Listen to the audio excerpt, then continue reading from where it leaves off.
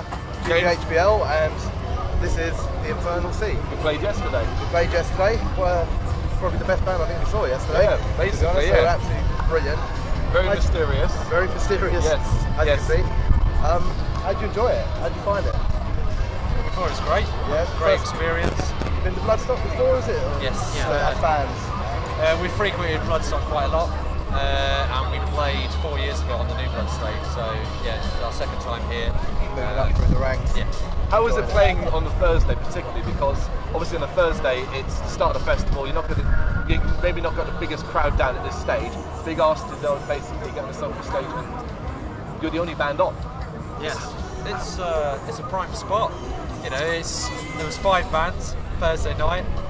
Where else is anyone going to go? They all pile into the tent, so the tent for us was rammed. It's a it's a great spot. We don't clash with anyone. Stand, you out as well uh, a bit because you're a bit different to the other genres that are being played. You know, you don't get an awful lot of um, black metal really on that on the Thursday. No, so no, in it's fact, it's that's really okay. like a, Yeah, we're, we're really okay with it. yeah, no, Yeah, because it's normally seen as the party night, so you come out and you're playing black metal.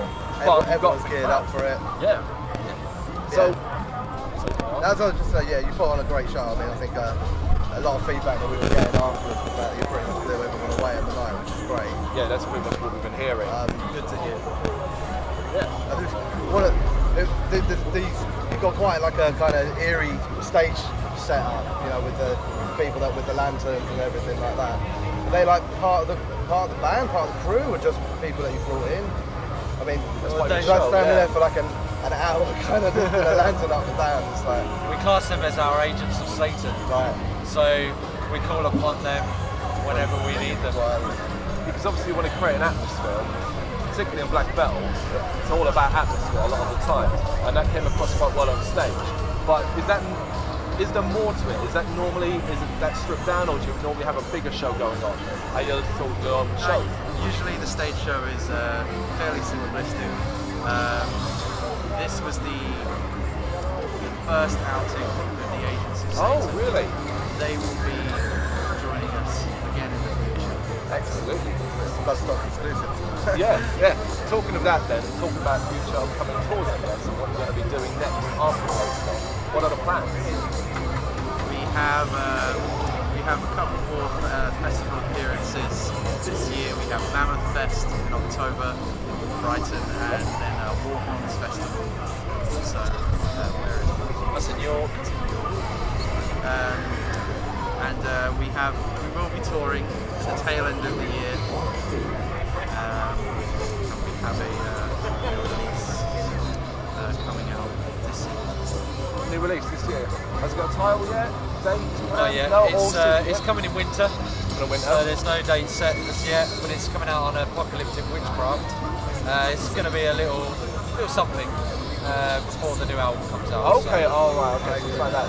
So, with that in mind, obviously, Bloodstock's all about, I guess, the future as much as it is. You know, you've got your main stage, you've got your big bands, they come and play, but we've got the new Blood stage, we've got the likes of Curse and Thursday, which tends to be your up and coming, as it were, and so on, that kind of thing. How does that feel for you guys? Like, that support you're getting from Bloodstock, and, you know, the people that are here who have come to see this the future and push you up, try and push you up the next stage. Do you, do you get that? Um, how does that feel? It's great. It's a good, you know, great opportunity, great feeling. Um, we welcome all the support that we've received from Bloodstock. It's, uh, you know, it's much needed, much appreciated.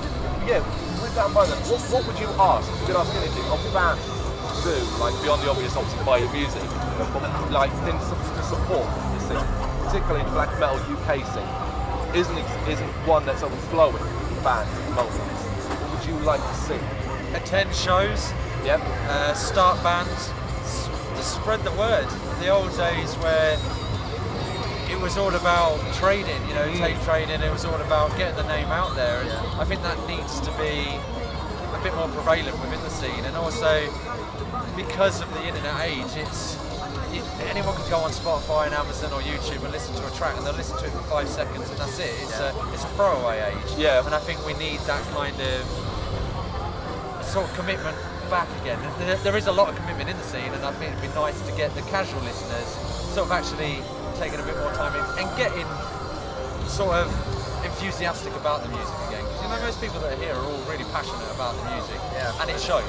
Yep. It's a great community here, and you know, we're all die-hard metalheads. That's it. It'd be nice to get that younger generation doing exactly what we've done for years.